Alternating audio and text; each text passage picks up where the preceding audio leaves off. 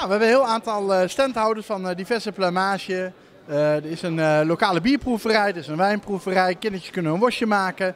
Ja, eigenlijk echt de worst day, maar op een hele leuke manier. Ja. De firma Huls die, die is volop bezig, ook op biogebied en dergelijke. Maar ook vegetarische worst wordt er vandaag laten we proeven. Wat, wat heet vrije varkens, scharrelvarkens? Er zal vast een eh, selectie van het assortiment zal van scharrelvarkens zijn. Maar ook niet alles. Ik denk dat als we alle mensen willen voeden, dan heb je ook nog wel eh, ja, de, de, ja, de veehouderij eh, volop nodig. Nou, ik vind het natuurlijk leuk om als gastheer heel wat mensen over de vloer te hebben. Te laten zien wat we hier daags doen. Maar eigenlijk is het ook wel bedoeld als een stukje bewustzijn van als je vlees eet, eet dan, wat ze dan zeggen, van het hele varken. Dat je dan ja, niks weg hoeft te gooien, een stukje duurzaamheid en volle inzetbaarheid. Ah, beer and chicken en de worst day, dat, eh, dat wisselen we eigenlijk per jaar af.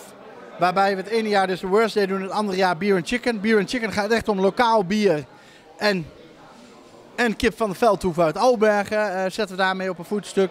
Heel mooi, eh, ja, innovatief bedrijf die het beste voor heeft voor de pluim- pluimveehouderij. En de worst day is eigenlijk echt bedoeld, wat ik al zei, mensen breed kennis laten maken met het vakmanschap van worst maken. Ja, ik ben mede-organisator van, van dit, dit, dit event, de Roast Day. We doen dit nu voor de vierde keer in Almelo. Het is een heel laagdrempelig eh, evenement.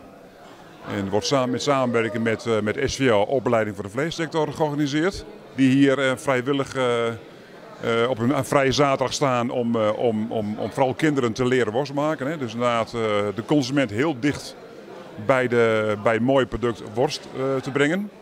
En in samenwerking met, eh, met Zwanenberg en wat andere partijen die ja, met elkaar vrijwilligerswerk, eh, eh, met elkaar een mooi product dicht bij de consument brengen.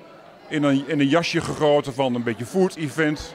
Ambachtelijk gebrouwen biertjes, leuke muziek erbij. Ja, dat moet helemaal lukken denk ik vandaag. En voor de vierde keer, dus de afgelopen drie keer was het best wel redelijk succesvol. Dus we hopen vandaag ook weer op veel, op veel mensen, veel bezoekers. We hebben een stampotbuffet. Eh vanaf half zes wordt dat, eh, wordt dat opgediend met, eh, met allerlei kassen rib en rookworst en spekjes. Ehm, Het is 10 euro per persoon. Je onbeperkte stampot eten met, met, mooie, met mooie, mooie worstproducten en mooie gerookte bacon. Dus vanaf half zes, zes uur kunnen mensen aanschuiven. Mooie bietenstampot volgens mij, een zuurkool en hutspot. En nog een, eh, een rucola stampot. Wie heeft de Hutspot gemaakt? Eh, volgens mij is dat via, eh, via eh, ge- gegaan. Ja. Ja. Wat, wat ik hem laten vertellen is het, is het is een heerlijk ouderwetse stampot.